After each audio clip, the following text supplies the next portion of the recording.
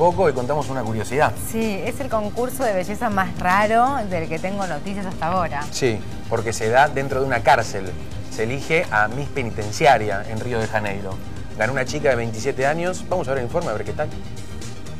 En una cárcel brasileña hicieron un concurso de belleza para elegir a la presa más linda. Maquillaje, purpurina, ropa de gala, una pasarela de alfombra roja, un jurado y cámaras de televisión. Todo como en cualquier concurso de belleza, con la diferencia que este se hizo en el patio de un penal femenino de Río de Janeiro, rodeado por muros de 6 metros y bajo la vigilancia de decenas de guardias. Diez reclusas desfilaron delante de sus familiares y compañeras para obtener el título de Miss Penitenciaria.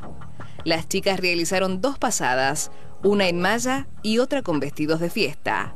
Miguel Neri Rangel, de 27 años, fue la ganadora y afirmó que se toma el concurso como una cuestión de honra porque en prisión aprendió a sentirse una mujer.